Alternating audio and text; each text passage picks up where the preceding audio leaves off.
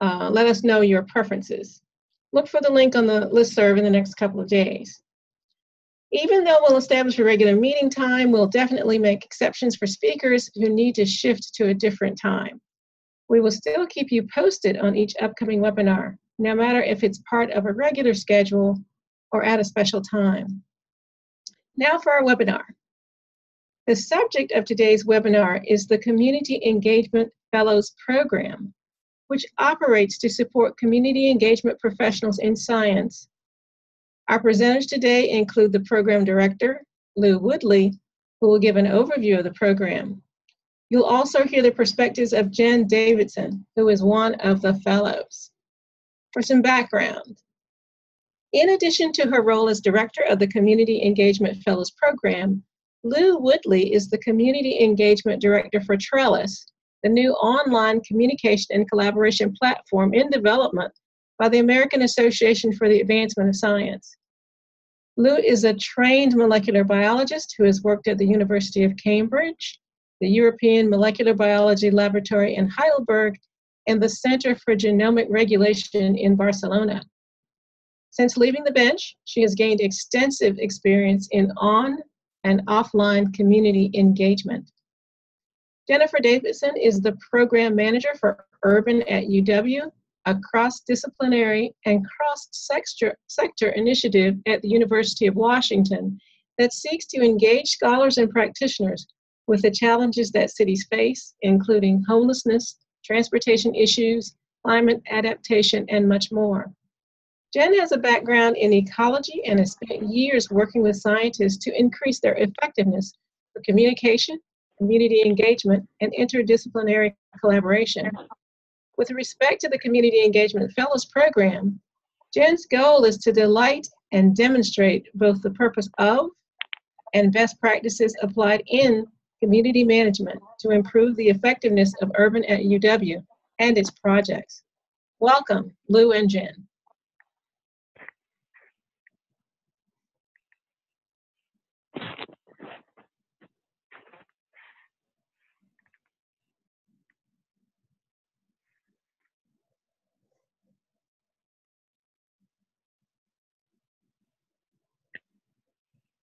Um, Hello. Um, hi, everyone. So, can you hear me now? Hopefully, now I'm muted. Thank you very much for the introduction, Karen. It's great to be here today.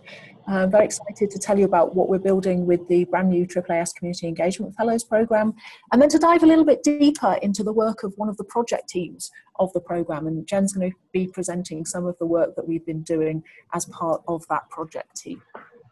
So, um, by way of background, here, as Karen said, um, I wear two hats at AAAS. Uh, so, uh, I've been with AAAS for three and a half years now, and I started out there um, right when we launched the Trellis project. So, Trellis is the new online communication and collaboration platform that AAAS is building. So, I'm not going to talk about that much today. So, if you do want to know any more about Trellis, then please do feel free to reach out afterwards.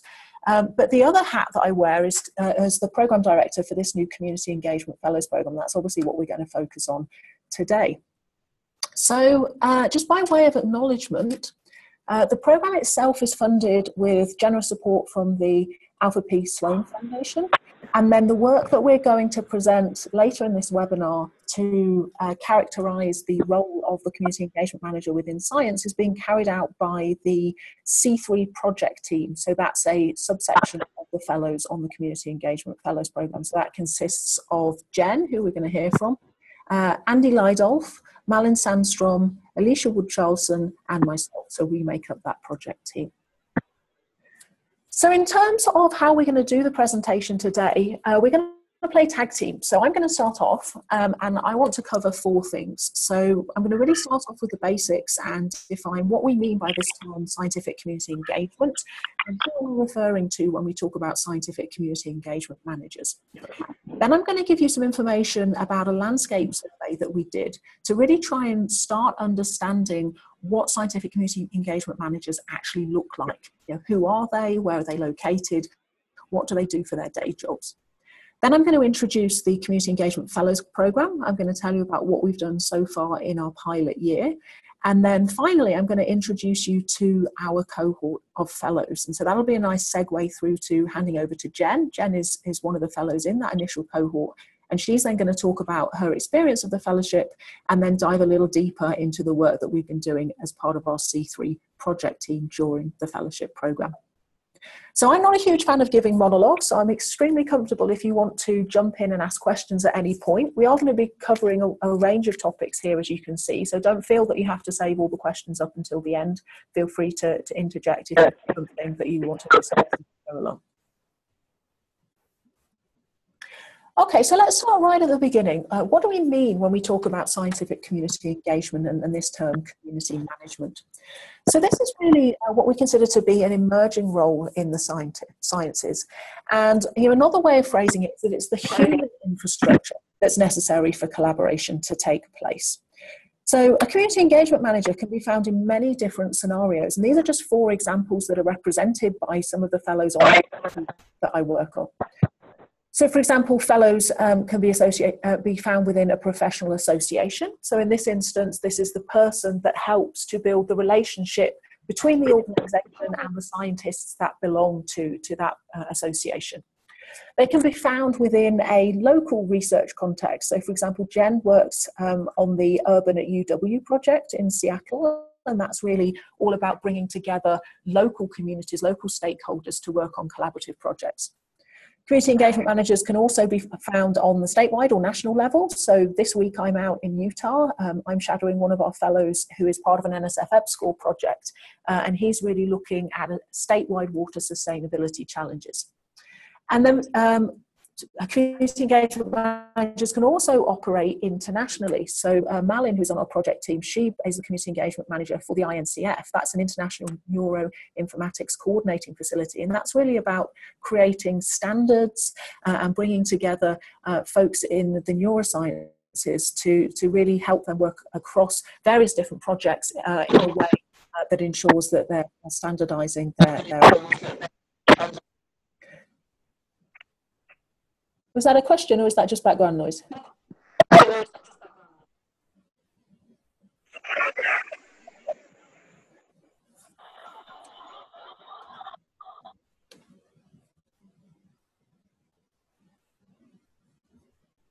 Okay, I will carry on. So another way that we think about uh, community engagement managers is that they're, they're almost the, the glue that enables produ- productive collaboration to take place within their community. And when we use this word community, what we're really referring to is in reach rather than outreach. So we're not talking about public engagement, we're not talking about taking science out to the community in terms of the public. We're talking about enabling people who are working together on a team based project to do so in an effective way. And so, like I say, that may be between an association and its members, that may be between diverse stakeholders within a, a local context, a regional context, or even uh, a research collaboration operating internationally. Now, we can also think about um, community engagement managers in um, you know various other ways you know we can plot them out in various different axes and for this pilot year of the program, we're being deliberately broad about this spectrum. You know, we, we suspect that there is a, a, a whole range of, of uh, different roles in this, this spectrum of, of, people carrying out community engagement, and they might be found within different organisational contexts. So there's a big difference between folks who are working within a professional association and those that are working on a research collaboration. They can be operating at different geographical scales, as I've already talked about, and they can even be operating with different disciplinary foci. So uh, some of them may be uh, just focusing on a single discipline, others may be going all the way to transdisciplinary activities. And then, of course, depending on the organizational context and the project context, they can be operating under different funding models as well. So, really, part of what we're trying to understand uh, in this initial year is um, what exactly do all these folks look like? You know, if we were going to draw out this spectrum and we were going to understand all of the various different people that we could put into this bucket that we call community engagement managers. Um, what would they be and, and, what are the various different differences between them? And then how can we support this role? You know, is there a common curriculum, a common skill set, a common set of learnings that will be really useful to, to make sure that this really important role uh, is actually supported? So this isn't, um, you know, community engagement may be an, an, emerging field within science. It's something that, that we're only really talking about in, in recent years. And obviously, it's not just us talking about this. You know, Science and Team Science as a, as a broader movement has been thinking about this for some time. Um, folks as part of this Intereach community are thinking about a very specific type of, of community engagement manager found within a, a very particular configuration. But if you zoom out and you look beyond science, you can see that community management is already a, a discipline that's recognized beyond that. So it really is something that grew up um, out of the, the tech industry.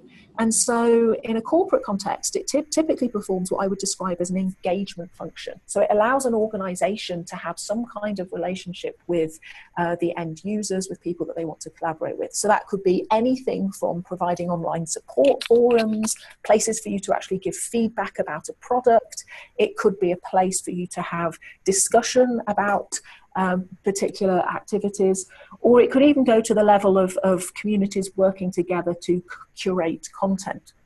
And then in some scenarios, what you see is that um, these, these types of uh, communities can also um, be uh, involved in co-creation activities. So organizations such as Linux, for example, that had one of the, the very first publicly recognized community managers, Jono Bacon, they're an open source community. It's extremely collaborative collaborative. Uh, it's very much focused on working with community members to, to continue to, to iterate that code and build it together um, in, a, in a very shared way. Uh, Lego as well, you know, this is another example of one of these online communities where that the organization builds a relationship with, with the customers and enables them to have input into the product development process and, and suggest new toy, toys that they may want to build. So with these community managers outside of science, what you typically see with them is that they have both online and offline roles. So it's fairly common now to see that um, there are online platforms cropping up around various different organizations, around various different products.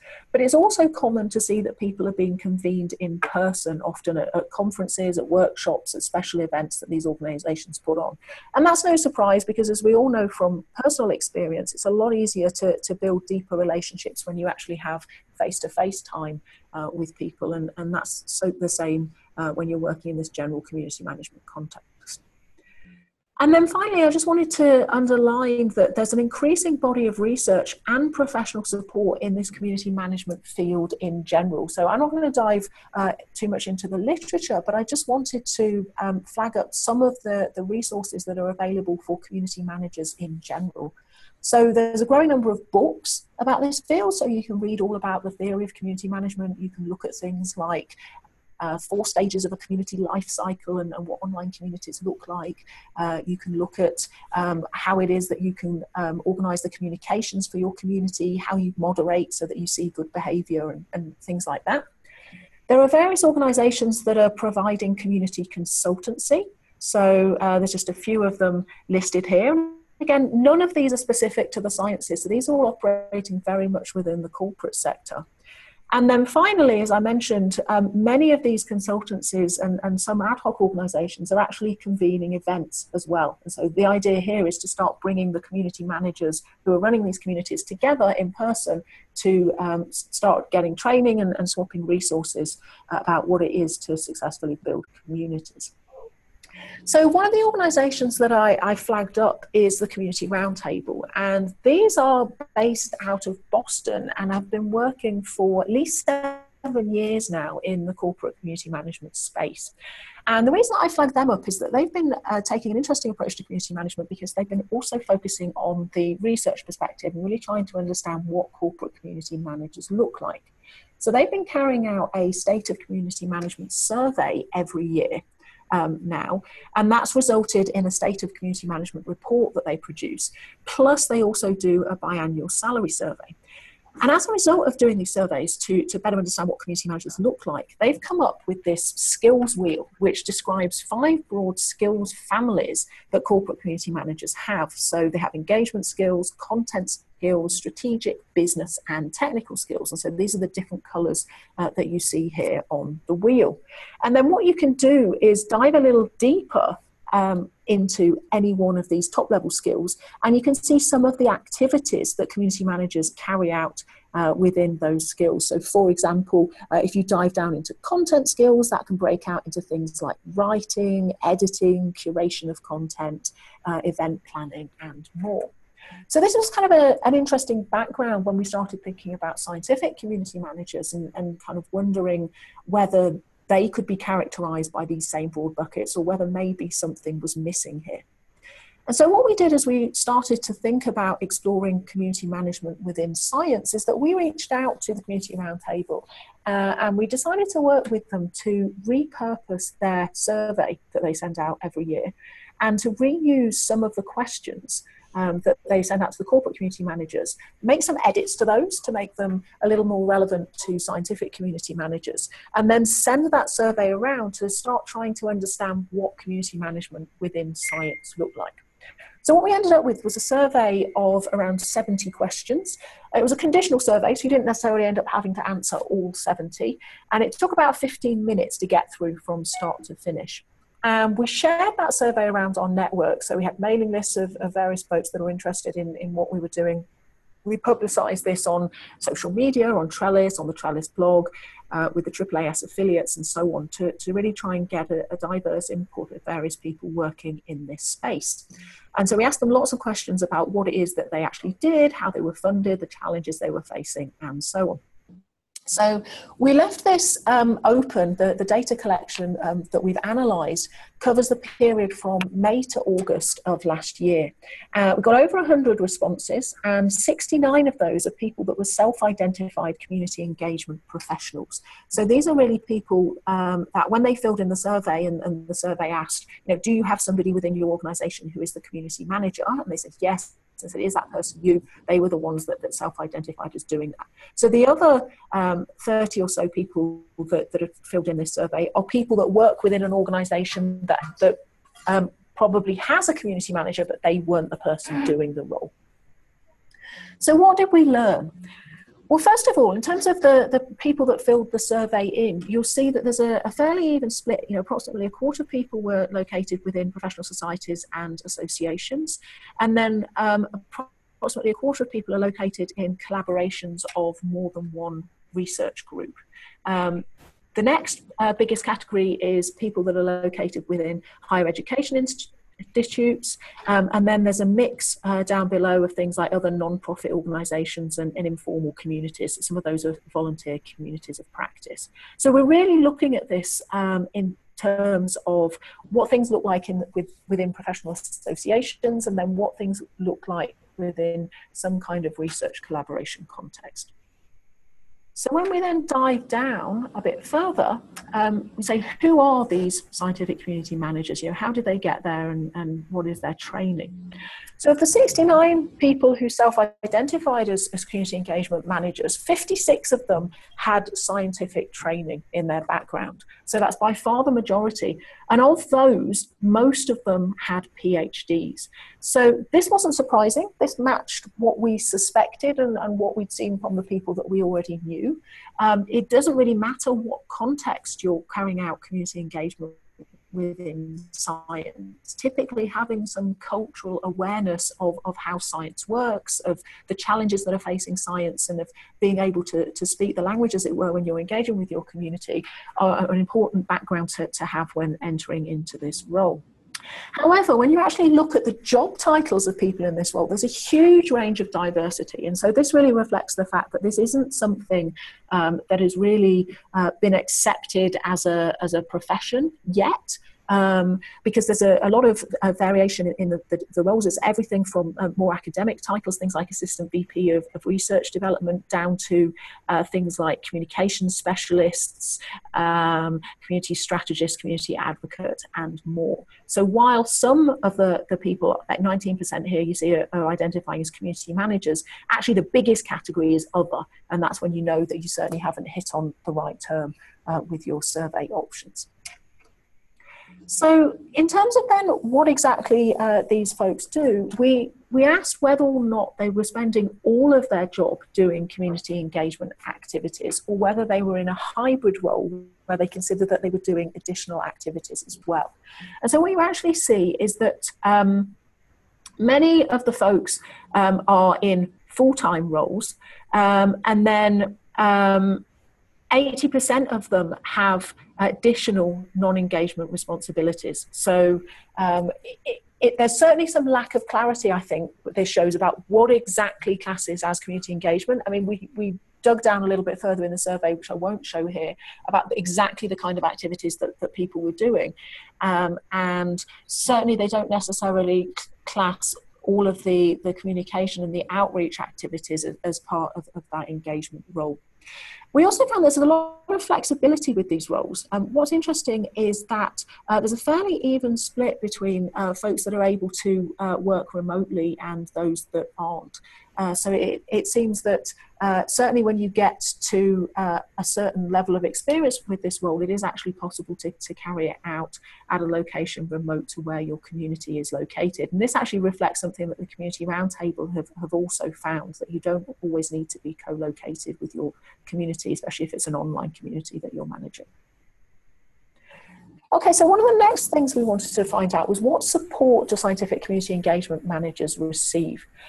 And so um, one of the things that we were uh, diving a little deeper on was what kind of professional development opportunities are available to scientific community managers. And the answer is right now, not very many. So uh, 58% of the community engagement managers in our survey said that they were uh, learning on the job, i.e., they were mostly self taught. So there isn't, um, or there wasn't when we did the survey, uh, an opportunity to go through any kind of training program for this.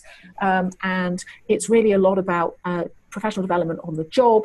And the next category along was you know reading books, blogs, uh, tapping into professional networks, and only nine percent of people had a mentor within the same organisation who was actually helping them within the role.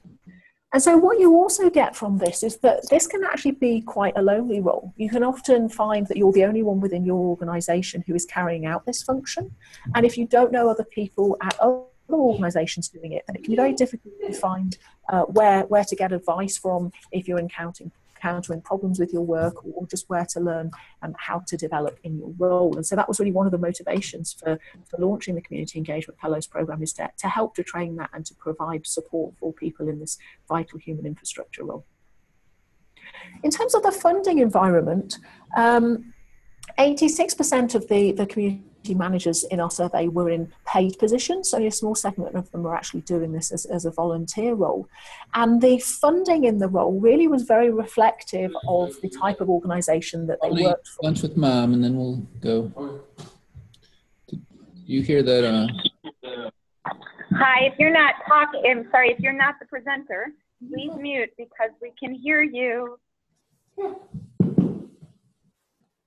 Great. So um, yes, so we, we also asked about funding for the role, and we really found that this correlated with the type of organisation that the community manager worked for. So unsurprisingly, if you were working for an association, then you tended to have uh, funding guaranteed indefinitely. That was, you know, as long as the role is going to persist within the organisation, as long as the project is is being prioritised, then then that role was guaranteed. Whereas roles associated within the research collaboration context, unsurprisingly, are tracking the grant cycle, and so the amount of funding left was somewhere between one and five years, depending on where they were in that cycle. So what we asked then next, and bear in mind this is only really a very small snapshot of some of the survey results just to highlight some of the trends in what we saw. We asked about the, the skill sets of community managers. So you'll remember that I showed you the Community Roundtable skills wheel and the, the five broad skills families that the Community Roundtable had identified. Well, as a starting point, we asked community engagement managers in science how they rated those particular skills. And so, somewhat unsurprisingly, they also rated uh, the engagement family of skills as being the most important for them carrying out their role. So, this directly reflects the Community Roundtable survey results for, for 2016, which are shown down the bottom in the donut, uh, which also showed that, that engagement skills were most important. And next was strategic and content. So, that's actually uh, flip with the community roundtable, it's content and strategic, but they're still the, the same top three skills. And then um, somewhat unsurprisingly, I, I, guess, and this is partly a, a question of, of terminology and, and, possibly a question of diving into more detail of what the actual skills are, the business skills are the most lowly ranked for scientific community engagement professionals. So um, most don't identify with these as, as being something that's really core to the, the day-to-day functions that they're carrying out. And then finally, we asked what are the current challenges that scientific community engagement managers are facing? And a third of res- the respondents in the survey said that prioritizing the number of tasks to do is their greatest challenge. So this really resonated with us because it, it's often heard from community managers that you're really juggling a, a lot of different things and you're juggling them on everything from a micro all the way up to a macro level. So you can be really down in the weeds sometimes, really helping facilitate things on a, a very detail oriented level and then the next moment be stepping back and thinking very strategically about the funding or the future direction of your community or, or the topics that that community wants to address. So prioritization of tasks is a, is a really big challenge. The next thing uh, reflected this um, notion of, of community managers not necessarily always being a full-time role yet. This is often a, sh- a shared role where it's got hybrid responsibilities. And so um, people were saying that that is often also a challenge because they're obviously having to juggle uh, various different tasks on their to-do lists. So that's just a really, really quick snapshot of what we found on the survey. We dive a lot uh, deeper on the Trellis blog if you want to go and read more uh, about that. So that's blog.trellisscience.com slash tag slash survey results and that will pull up all the blog posts that we have uh, about this diving uh, a bit deeper and then there's some more analysis in that where we, we discuss the results as well. So that really, uh, carrying out this landscape survey then, it, it really crystallised for us that there are definitely community engagement managers operating in various different contexts within science. Um, they're definitely uh, in need of professional development support, and this really is a nascent profess- profession. You know, this isn't something that, that has a clear, clear career path at the moment, um, and, and it isn't something that therefore is necessarily getting the, the support um, or even the, the funding, um, um, given how important we perceived it to be. So this really led us to then putting together the plan for the AAAS Community Engagement Fellows Programme, which launched in January this year. And again, you can read a little bit more about that both on the AAAS website and also on the Trellis blog. So the program itself, the, the goals of the grant are to professionalise and institutionalise the role of the scientific community engagement manager. And for our pilot year, we decided to focus on two particular contexts in which scientific community engagement managers are found. So the first of those is within associations, and the second is within research collaboration. So this was really just to give us some level of, of focus. But what's actually been interesting, as, as I'll show you and as, as Jen will talk about with, with some of our project team work, this was a slightly naive assumption because actually it really is a, a spectrum. It really is a continuum where these roles um, almost merge into each other as you go along the spectrum, and they're, they're not necessarily absolutely clearly de- delineated, or at least that's not what we found so far. So, in, in terms of delivering on the grant, then, what, what does that practically look like uh, to professionalise and institutionalise this role? So, firstly, it's to gain a better understanding of the professional landscape for scientific engagement managers. So, the survey results really feed into that, and then um, getting to know the, the fellows in, in more detail throughout the duration of the programme uh, is obviously a very important component of that as well. The second thing that we wanted to do was to provide professional development training and resource sharing for an initial cohort. And so we wanted to devise um, what we believe is the first ever curriculum for scientific community engagement professionals. Um, that was a, a week long program that was delivered in January when all the fellows started. But we also recognise that uh, many of these uh, people have actually also put together their own resources. They've learned a lot on the job by doing their roles. And so we really wanted to create a forum where they could share with one another. So this idea of forming a cohort was very deliberate, of, of encouraging that, that space to, to share among the members and was really key to, to the program's success. So we really wanted to, to help them to uh, feel supported by AAAS, but also supported by each other so that we had this safe space for, for knowledge sharing. Then, um, fourth on the list, we wanted to help the fellows to demonstrate the value of community building back to their organisation. So, one of the ch- challenges when you have a nascent role, and especially in a role like this, where often if you're being really effective at your job, it, it's not always clear that, that you're doing the things that you're doing. You know, if if the collaboration or the, the community that you're building is, is running very smoothly, then it's not often visible um, all the work that the, the community engagement manager is doing to, to help um, facilitate that occurring. And so we wanted to, to give the fellows a language and give them some uh, strategy and, and some models that they could then take back to their organizations to, to help codify what they do. Um, we, fifth on the list, wanted to create opportunities for co-creation among the cohort members. So this is really where the project teams come in, and Jen's going to talk a little bit more about those. But essentially, the cohort split out into four different self selected teams. So they picked particular topics um, that were top of their mind uh, in community engagement right now, and then define some things that they wanted to dive into in a little bit more detail uh, and explore together over the course of the year, uh, benefiting from each other's perspectives uh, in, in what they've done in their roles so far.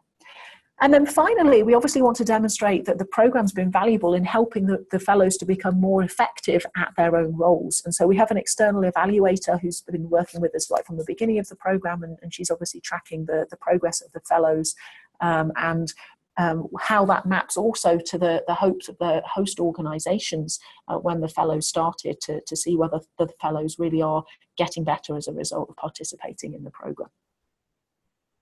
So in terms of what this program looks like, uh, as I said, it's a it's a year long program. So it started in January. We recruited all the, the fellows at the end of, of last year, and then uh, we brought them all together in DC at, at AAAS in January for a week's worth of training. And that was really to kick the year off and, and to provide a common grounding in uh, community engagement. It was to build that sense of cohort that's then uh, persisting throughout the year. Um, and it was to uh, make sure that they had um, actionable learnings that they could then take back to their day jobs at their host organizations. So most of the fellows, um, all bar one, was already located within a job. Um, so they were already acting as scientific community engagement managers. They just um, obtained permission to participate in the program throughout the year. So they come along in January for a week, uh, they get this training, and then they go back to their host organization and continue their day job, uh, but now with the support of the cohort, with the support of the program, and with the, the learnings and the, the language that they've picked up as part of the training. So the way we structured this week in January was um, to have a different theme for each day of the training week and then to work during the day through various different topics on that particular theme. So we started out with um, community engagement in general and then went specific into um, what that looks like within science. We then spent a whole day thinking about community engagement strategy. We spent another day diving down into content.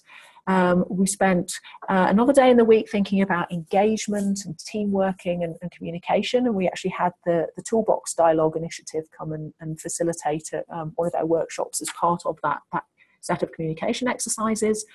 And then we very intentionally introduced the, the ideas of the importance of organizational culture and then the importance on a, an individual level of self care at being able to be an effective community engagement manager. So, one of the things that's really key about this role, you know, I already mentioned the fact that um, folks in this role can often feel quite isolated. They can often feel that they're the only one in their organisation doing what they do.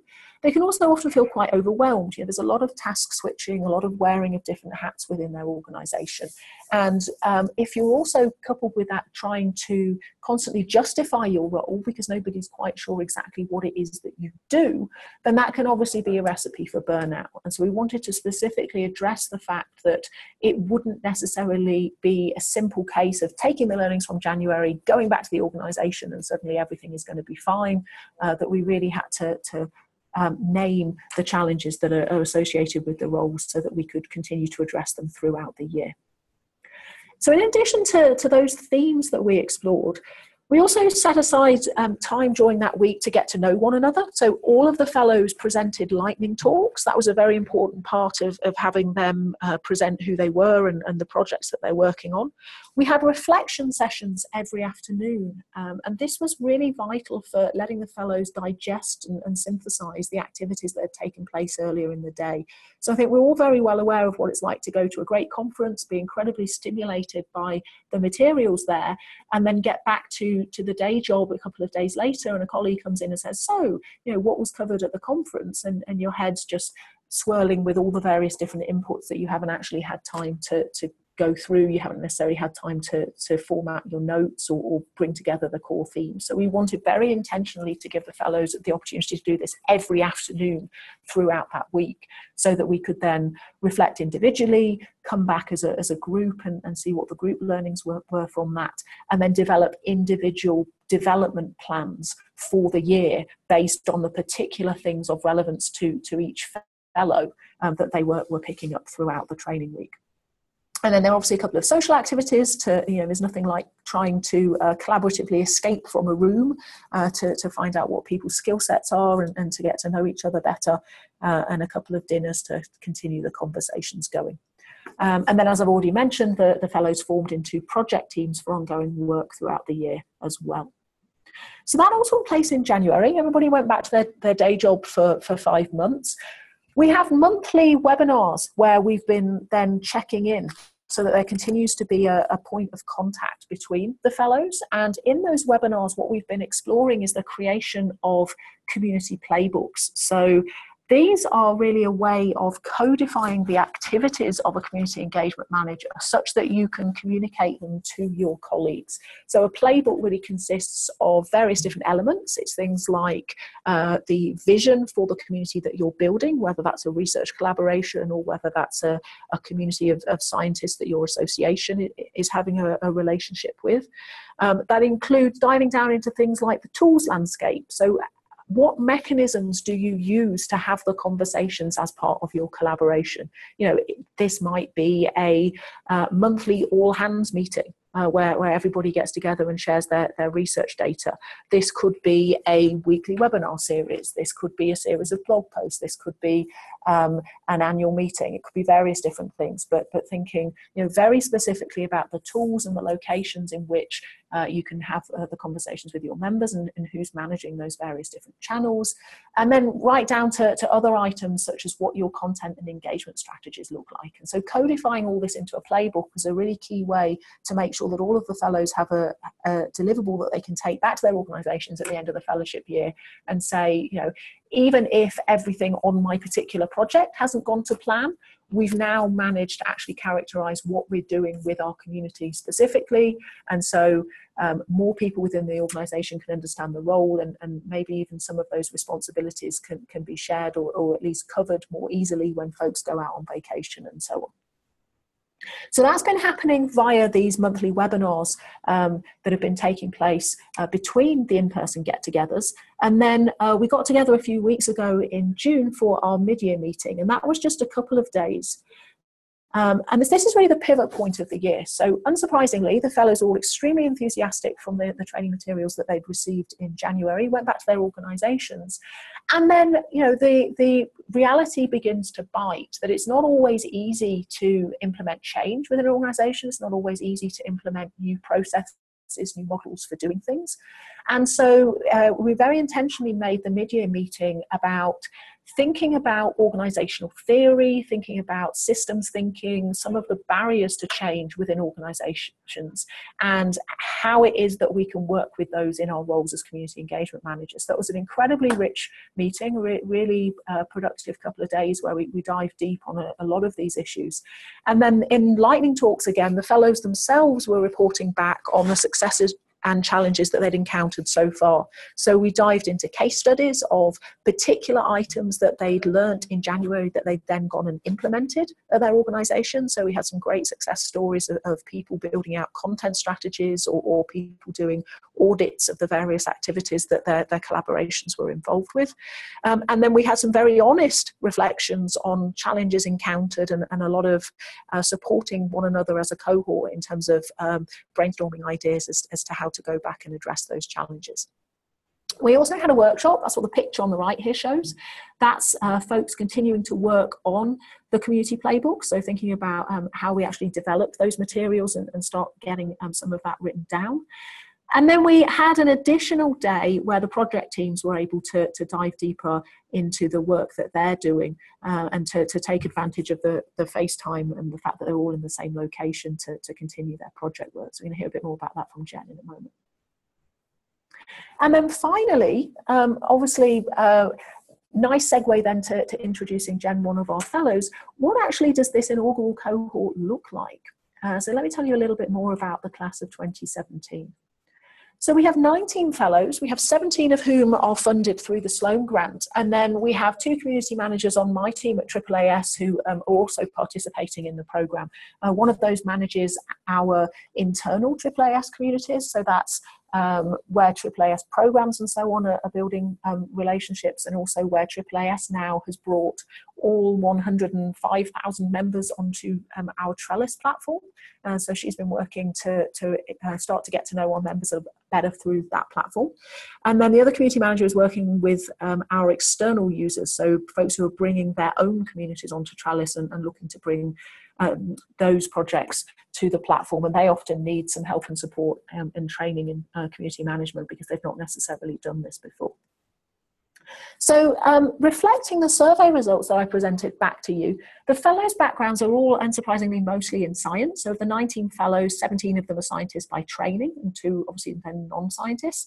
Seven of them have got PhDs, so again, highly educated, highly specialized, and eight of them have got masters, uh, two of which are, not in the sciences. So uh, they really, uh, most of them have got that scientific background, which reflects the survey results.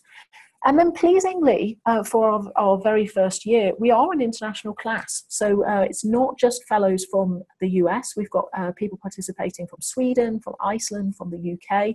And then there's a diversity across the US as well. So we go all the way out from Hawaii, all the way back over to DC via Utah, Texas, Wisconsin, and more. So uh, it's a really nice range uh, of different projects. And then what you can see here is a, really broad range of different organisations as well. So uh, you'll remember that I said that we were focusing on two broad buckets, uh, the professional associations and then uh, people within the research collaboration context. So some of the uh, professional associations are things like the American Society of Agronomy, uh, we've got Society of Petroleum Engineers, uh, we've got the New York Academy of Sciences taking part, and then at the research collaboration level, we've got things like uh, iUtah, the, the NSF EPSCoR project, um, and we've got the Deep Carbon Observatory, um, which is another Sloan funded project, which is looking at, at building out um, a brand new discipline. Uh, for carbon scientists. So uh, we're really pleased with the diversity of, of uh, organisations that are represented in this first year as well. And then this is just another way of thinking about um, how those fellows map. So this is just mapping them out on two different axes. So this is a, a chart that one of our fellows, Andy, um, drew up. And it basically shows uh, the geographical reach of the communities that the fellows are working with. So everything from the local level right at the bottom all the way up to the, the global level at the top against the disciplinary reach of the communities that they're working with. So everything from single disciplines all the way through to transdisciplinary. And so Andy started off first of all by placing himself here. So he's working on a, a statewide project. Uh, it's all about uh, water sustainability in Utah. Um, and that's, he says, sort of verging into the, the transdisciplinary realm. And then if we put um, some of the rest of the fellows onto the graph, we can see that we've got people who are working within the scientific associations. Some of those are associations that are just focusing on a single discipline. So remember like Agronomy Society, Petroleum Engineers, Plant Sciences, Developmental Biology. And some of them are working across various different disciplines. So uh, we've got you know concerned scientists, we've got New York Academy of Sciences, you know, they're not necessarily just focused on, on one particular subject. And then down the bottom, we've got the folks supporting the local research collaborations, but again, that spans the, the range of disciplinary scales.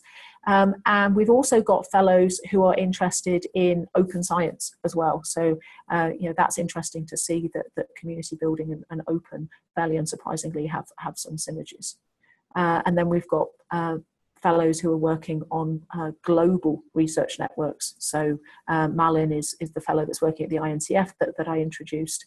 Um, and, and we've got uh, Alan and Katie here working on uh, international collaborations.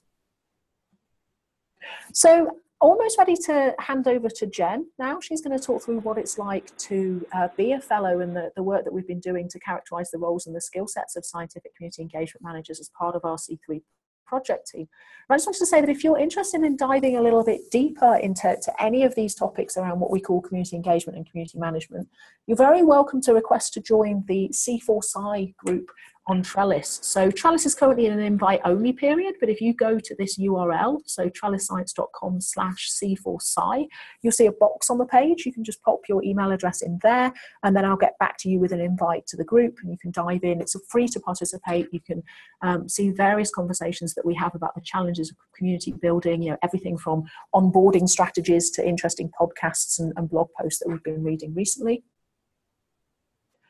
Um, and then finally, I just want to end and say, if anybody has any questions about what I've presented, I'm, I'm happy to take a few quick questions now um, before we hand over to Jen.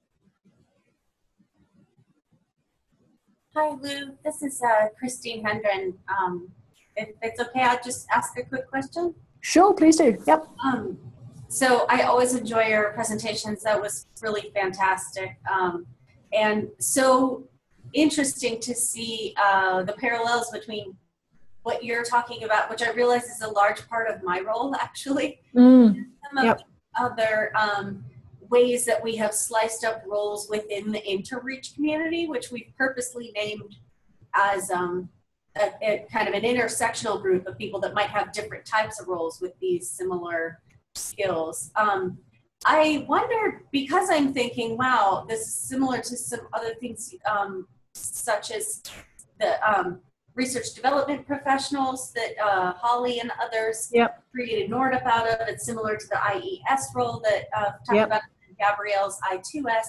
Um, I, but yours is the first that has uh, garnered, you know, a AAAS governmental support of a, a, a training and purposeful program such as this. Um, am I right about that assumption that this is the kind of the first foray into that avenue of um, pulling together and developing teaching and training around it? Yeah, I mean, we certainly believe that to be true. So, unless anybody can point out uh, other things elsewhere, you know, we, this is the first curriculum for scientific community engagement managers that we know of, and as you know, it's been exciting and wonderful to put it together. I also want to say that it is very much the pilot year, so it's been fantastic to get lots of, of very useful feedback from our fellows who, you know, typically have found it extremely useful because, as, as you can see from the survey results, there's very, very little professional development opportunities out there for people in these roles. But that's not to say that we've got everything covered yet. So it's an interesting space to, to continue to explore and also continue to, to explore in terms of how to slice and dice it. You know, we, we for this first year, put, put the entire cohort of fellows together. You know, we didn't track anything. We didn't say, well, you know, this bit is probably more relevant to research collaborations and this bit is maybe more relevant to associations. We deliberately put everybody in together as a cohort um, and, and then said, you know, give us your feedback about which bits resonated uh, best for you, what we've missed, and, and so on. So it's definitely lots of conversations to continue having there about, um, you know, w- where we can go next with that curriculum. Um, uh, just to follow up, because that uh, that uh, this is so novel, um, uh, the way that it's being approached. Was this initiated from um, top down or bottom up? I guess is the short way to ask that. Or who who was able to see? Okay, this is a need, and let's create a funded program. So I would say this was one of those wonderful moments of synergy when things all come together at the same time. That you know, when it happens, it's magic. So we were thinking about this anyway. I mean, community management is very much my background. So before I joined AAAS, I spent five years at, at Nature Publishing Group and really very interested in the first wave of online collaboration tools for scientists, and then what it meant to, to convene uh, community conversations, as we called them, with um, the various stakeholders within within science and within knowledge sharing. So, you know, I was very used to bringing together. Uh, People interested in science policy and public engagement in, in technology innovation to think about what it meant to disseminate knowledge within science. And so I've been geeking out about this for some years. And so when when I then sort of moved over to, to uh, AAAS and, and to work on Trellis, you know, one of the, the emphases that we had right up front is we said, well, okay, we can build this platform, you know, we can really focus on the technology, but the technology alone is not going to be enough. You know, the, the, the, sort of old saying, you know, if you build it, they will come. Well, it's just not true. You know, you, you can't just, just put a platform out there and, and think that without any kind of uh, nurturing and human infrastructure that a, a, collaboration is going to be successful. So right from the off this emphasis on community management and on supporting the group admins who are going to be running the groups on trellis was, was really a key part of our strategy. So we, we were planning on developing a lot of these materials anyway and then we ended up having a conversation with sloan who were also thinking along similar lines and they say that came together perfectly resulting in, in this uh, fellowship program and the, the training materials that we've developed today thank you for that. That's a really interesting model, and I know one we can all learn from. Okay, that's all I will ask. Thanks. Anybody else have any quick questions before we hand over to Jen?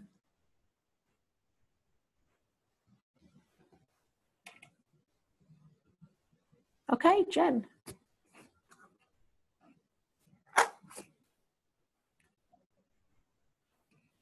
Great. Um, can everyone, um, I'm hoping you can see my screen. Yep. Um, excellent. Thank you. All right. So I get the opportunity to talk about the uh, Community Engaged Fellows Program um, from my perspective as a, co- a, cohort member, and also talk to you a little bit about the project that I'm, the project team that I'm on, and the project that we're working on to kind of understand uh, science community managers or uh, community engagement managers um, in context. So I'm the one on the left, the little yellow circle around my head, one of 19. Um, and as uh, Lou mentioned, I work at University of Washington um, at oops sorry at uh, Urban at UW, which is a cross-disciplinary research uh, group that actually is a, a center that um, is cross across not only science disciplines but the design disciplines and um, uh, social science and humanities as well so quite broad. Um, and so the reason that i uh, wanted to apply well the three um, sorry apologies three um, topics I'll, I'll walk through today is why i applied to cefp and um, my experience so far and, and how that has affected my work and then dive a little into the project team's work to characterize community management in science so why I applied to CEFP? So I, as as Lou mentioned, I'm one of those folks who, um, in this role, I feel a bit isolated. There are maybe a few people on campus at University of Washington who do similar work to myself. Um, staff, usually research scientists or other staff who are charged with herding the cats of of bringing uh, researchers together to collaborate on projects. And in my case, um, oftentimes these projects are not yet uh, funded; they're not yet even um, uh, identified. So, bringing people together to help them identify the things they have in common, and then to overcome the barriers to do their research together. So, I was feeling quite isolated in my role. It's not very common, as we know, in acad- academia um, to find interdisciplinary um, support for interdisciplinary work and, and the kind of infrastructural uh, background for that. So I came, I wanted to be a part of the, the fellowship program, not only to identify and refine uh, key skills and, um, and best practices for this work, which I knew were out there, but I wasn't really sure how to, it just seems like it just falls across a lot of different disciplines and a lot of different um, fields. I also wanted to find a community of practice, um, a group of people who are doing the same things as me, who are interested in the same topics, who are trying to figure it out, and who were also dealing with the same challenges and overcoming them in different ways. And then finally, to I wanted was really interested, and I still am really interested in developing both an evidence base and a narrative to talk about this work, to explain how it um, adds value, and to and to advocate for this role, so that we can all be more effective and we can be funded. um, so that's uh, why I was I applied and was really psyched that I got in. And um, so my experience thus far is really a sort of sort of kind of meta. Um, I found a community of community managers, and um, so I've been able to through, through the both the programming and the cohort itself. Um, I've gained access to new concepts and theories around community management, which I was not familiar with the term community management before this uh, um, co- this this fellowship. I saw myself as a program manager, which is my title, um, but I wasn't really familiar with the literature around this and and the and the practice around this. So, new concepts around community management, including everything from this idea of a community life cycle and the, and and ways to um, uh, um, leverage different points in the life cycle in order to um, create value uh, all the way to how, how to in general how to help communities and science communities specifically to add measurable value to, to an organization. So i also am finding really actionable ideas and practices that i have been able to take back to my program um, things like um, building a community playbook. So that it's a huge topic in and of itself but um, digging into developing codes of conduct and shared values and um, mapping the maturity of the community and identifying you know uh, goals and objectives for each of those um, the, the, those levels and and then really basically a work plan uh, that is both public uh, can be either public and or internal um, to really sp- very grounded uh, uh, practices like different methods for facilitating meetings and facilitating collaborations. A lot of the stuff that we saw at the Science of Team Science, for example, which I was able to go to that conference this year, um, is also some of the stuff that we cover. We've been covering in this um, this uh, fellowship. And then finally, as I mentioned, uh, I'm finding uh, I've found a new community. These are my people. It was the first time in a while that I've gone to a professional gathering and felt like, oh, what I'm doing is not, I'm not the only one who's doing this.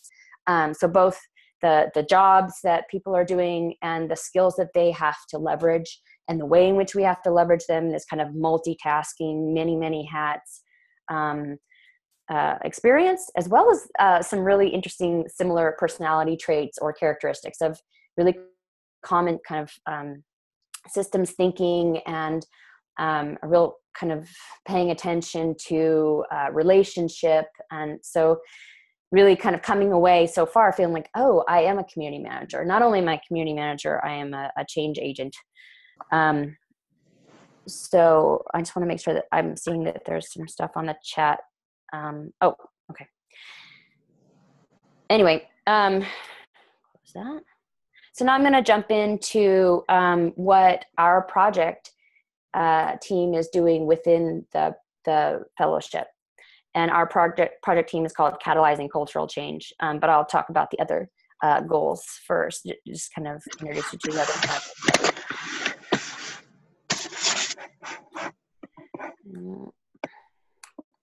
So the four project teams within the program um, are titled as such uh, content on content. So really focused on how we can develop relevant and effective content. So that mean, meaning everything from press releases to blog posts to social media to events um, and uh, agendas and anything content based to engage and support science communities um, the Advocacy Ninjas project team is focused focused on creating effective advocacy, mentorship, and other um, programs within their science communities to kind of um, mobilize and, and, and add value. The so solutions for tackling engagement evaluation from metrics to impact, or STEAMI uh, group, uh, is focusing on ways to measure impact of science communities. So really trying to get at that quantification piece to help help us describe what what uh, science communities do and ha- help us to add value by adding numbers.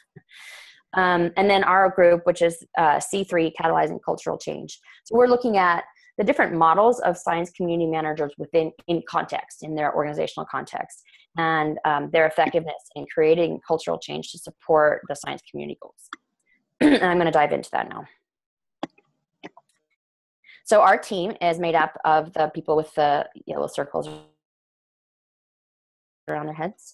Um, and so most many of us are um, involved in science collaborations and these teams were self-selected um, and we were all interested in uh, really understanding how can we make our how can we be more effective and what are the ways in which um, where we're placed within the organization the skills that we uh, use or the, the, the tasks that we um, have to that we're responsible for the connections that we have within our organization and within the, com- the science community how do those play out in terms of us being able to create change in order to help the science community achieve its goals? And in most cases but not all in this conversation um, those those goals have to do with scientific collaboration just with this team but we're looking at the the larger community engagement uh, community engaged managers uh,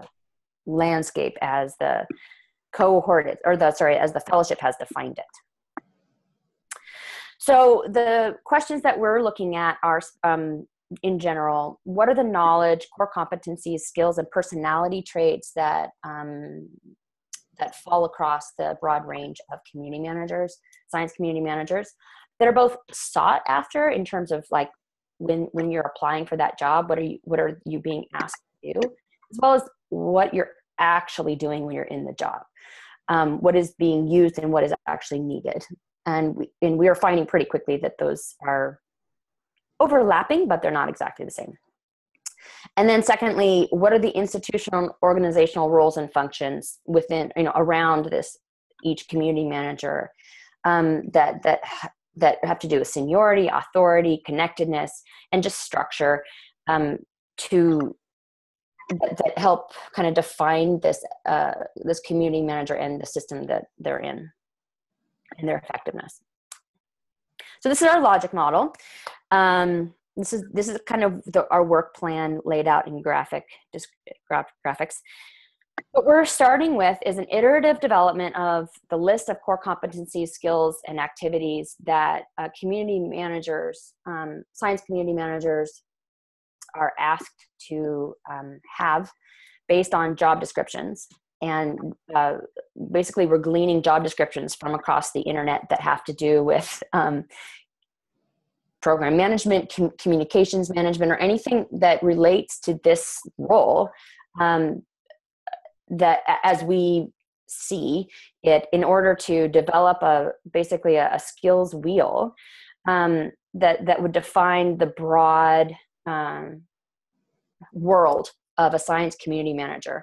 Again, from all the way from someone who really kind of focuses more on communications to someone who is really deep into the collaboration and, and everything in between so that then we can use this kind of um, robusted i made that word up now um, uh, this model that we've tried to be make pretty robust um, to then create kind of portfolios of weighted uh, categories that describe not only the job descriptions of the CEFP fellows, but also the, their activities as, as defined by um, time tracking over the course of a specific amount of time so we can start to understand given this broad range of skills that um, community managers are expected to have within this within this cohort which of those skills have been asked for in their job descriptions? And then which of those skills are actually being employed to kind of get a sense of the the, the dissonance there?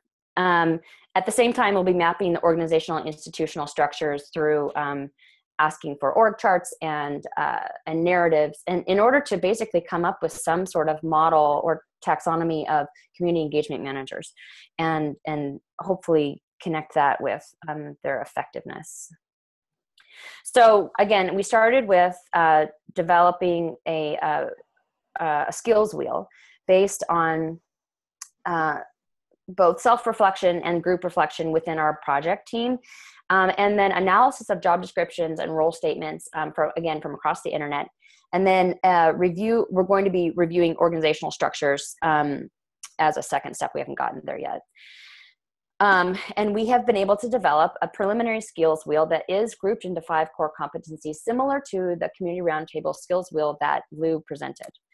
Um, and i'm going to show you that in a, or show you kind of a mock-up of that in a second. But what we have we found is it's a very iterative process because of course we all have different understandings of these terms you know business development or content management or you know all these terms obviously have a lot of different definitions. So we've been iterating just as a as a group as a five person group on what do these skills actually mean? What do what do we do? Um, and so as a side kind of deliverable we've developed a, a skills glossary which we're hoping will be useful um, in further conversation about community management within science communities. And you know leading to this kind of coding protocol so we can start we can take our own we've been using this this this internet pile of, of job descriptions as a training set basically.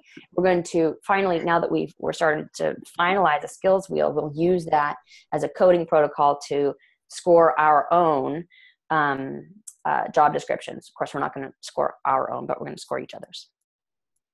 So if you again remember the um, the community roundtable skills wheel that lou mentioned it was broken up into five core competencies of engagement, strategic, business, content, and technical. And in, in general, what we've found so far is that there's similar um, breakouts with science community managers, but there's some differences in, in the, the uh, terminology so program development and program management are really what we're focusing on uh, rather than strategy and business.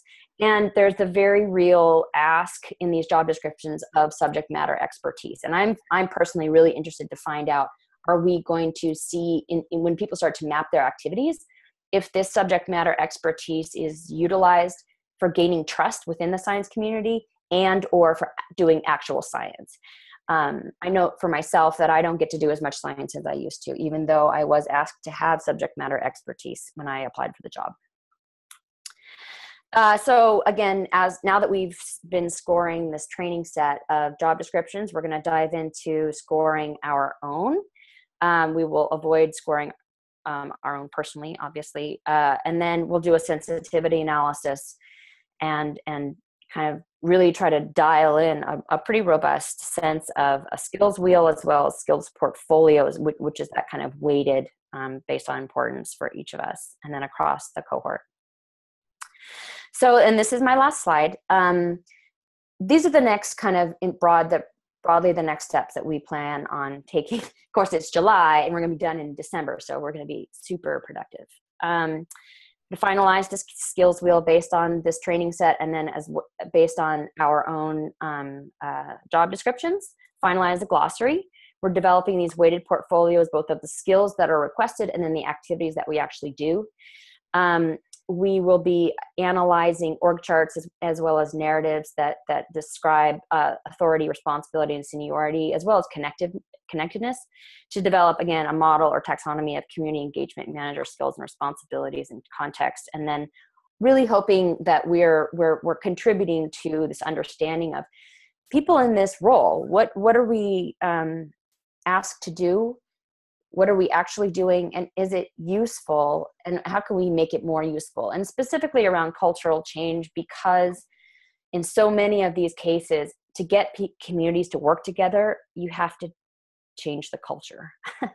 Um, yeah so that's where we're at and i and that's uh, that's all i have and i would love to take questions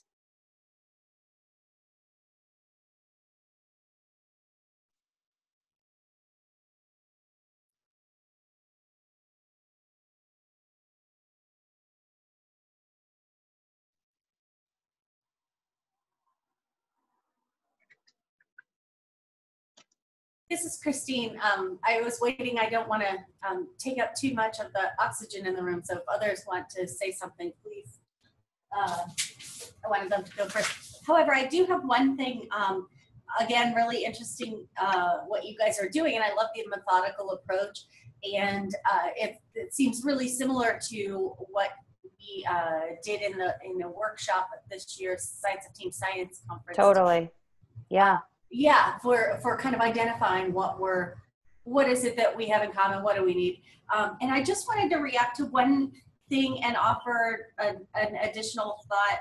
Um, the way that when you were talking about uh, something i'm also share your interest in whether the subject matter expertise that is required for being a community leader in the context that you're talking about um, the way that you presented it it might have just been the language because of shorthand of this presentation, but I, what I heard was that you were curious whether they require this or utilize uh, this expertise either for um, gaining trust or for doing science. And I just wanted to propose that I think that there's a middle ground there um, where you might not be doing, and, and the reason I think this is because that's what my experience is, is that I'm doing less of my original uh, science that I came from, but I retain the subject matter expertise and I still guide some of that science.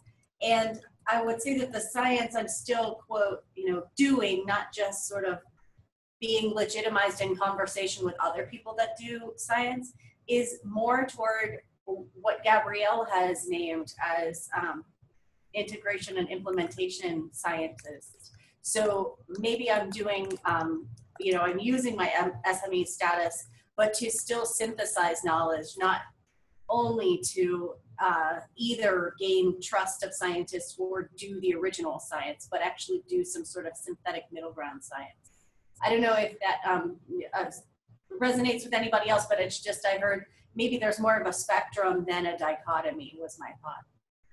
Awesome. Yes, and I you um, thank you. The the the I I think the shorthand did kind of suggest that there was a di- I was saying a dichotomy, but I certainly didn't mean that. However, your point about um, um, about this other possibility not only that you are that that you are both gaining trust and doing science like there's an and there but then this is other space where maybe uh, community managers in science communities actually get to do this other integration and implementation science like you're shifting away from your specific discipline towards this broader discipline in in while you're part of this as you become part of you know as you take on this role is really interesting for me to think about. So does is that what you meant? Is that um and often times this kind of evolution into this role would mean that you step away from your disciplinarity and and and more towards this inter the the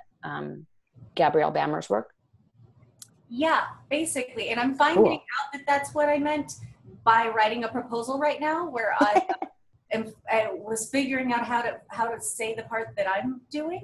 So it and then I, it hit me that we're in this context studying how I should frame that. I should just say I am the integration and implementation scientist. Um, irrespective of the fact that they aren't looking for one or know that that is a thing yet. But um, but it it struck me that if I'm just honest about what we're doing, it requires liter- fluency in the home the subject matter expertise. But it's just a flipping of concept for me to say instead of things I'm not, I actually am a, a different thing. And I think that's in many different roles and applications what we're doing in these various uh, things we talk about here is just you know it, it's not a negative space it's a positive space right but how do yeah. we um, define it so anyway yeah thank you mm-hmm. and so, yeah, this is Lou again. To sort of murky the waters a, a little bit and, and sort of continue on, on these thoughts, I learned of a really interesting model a couple of weeks ago, um, which talks not of a skills wheel, but a skills web. So, something that we often encounter in these roles is uh, we were talking a lot at our mid year meeting, for example, about how, you know, when the fellows take things like uh, personality uh, tests, they find that they don't typically fall at, at, one end or the other. So, they're neither extrovert nor introvert. They, they often ha- wear both hats in the course of their role, or they're not detail oriented or big picture oriented. They do both in, in the course of their role. And so there's an interesting skills web which really pulls together all of these, these sort of almost opposite skills or skills at, at each end of a, a, particular spectrum and says that the, the people that carry out these these kind of synthesis integration collaborative roles are able to hold those skills in tension which was a language i really liked. You know literally this web where if you you know imagine all the strands the strands are all been being held there in tension because it's it's not either or it's it's everything there held together. I, I, just i really liked that as a as a sort of metaphor as a, a very visual way of, of thinking about what we do. And also with that being positive again um, you know, alluding to that sense that it's it, it's it's creating the the space, the construct to be able to to hold all of these things. It's it's not not doing something. I really like that. Um, and I wonder, Lou, is that a presentation that you might have access to say send to the um, Yeah, it's a it's a blog post that I put on my blog. So if you look up social in silico, uh, it's it's a post on. It. But I can certainly share it afterwards as well. I can point you to it. Thank you.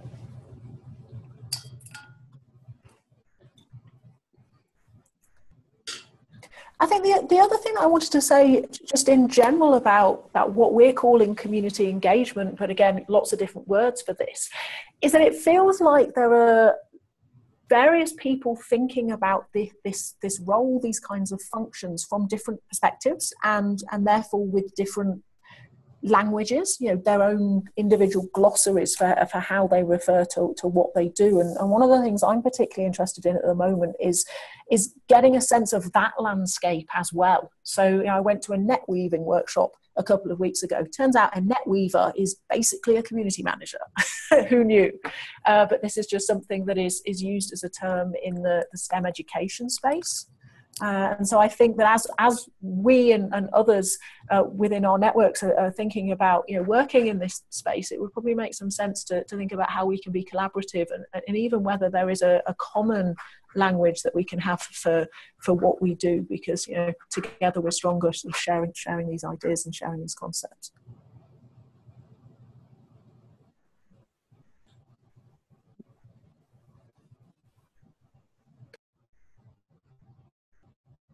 I totally agree. One thought I have, and I'm sure you guys are covering this as well through the um, the AAAS or for, through the uh, fellowship trellis community, is whether it might make sense to have a glossary, uh, just a, a small list of terms. Anytime we can, you know, take those types of things and cross post them on the Intereach website so that we kind of highlight one another and um, don't work in divergent directions, but just as you say, kind of help each other figure out where we have things in common. Um, that might be excellent. Yeah, that makes sense. Definitely beginning of conversations. Yeah. Yes, absolutely. Well, thank you very much to, for everyone for joining. I'm I'm impressed that everybody stuck it out for an hour and twenty minutes. So we're, mm-hmm. we're grateful for your your listening, and um, you know, if anybody has any subsequent thoughts, I know there's a lot to take in here, you know, not just the program structure and the, the survey results and then what we're doing down on this project team level as well. And both Jen and I are, are very happy to, to chat with you. You can get in touch with us via uh, email. Uh, absolutely.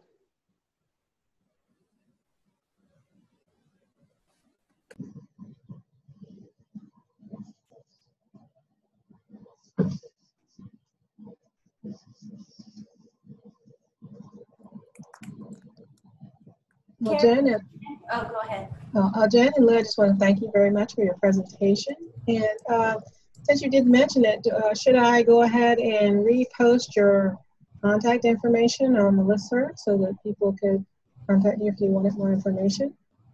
Uh, we can do it at the same time we post the link for the presentation. Yeah, I'm fine with that. Me too. Yeah, absolutely. All righty then. Thanks again. Thank you so much. Have a good rest of the day, everyone.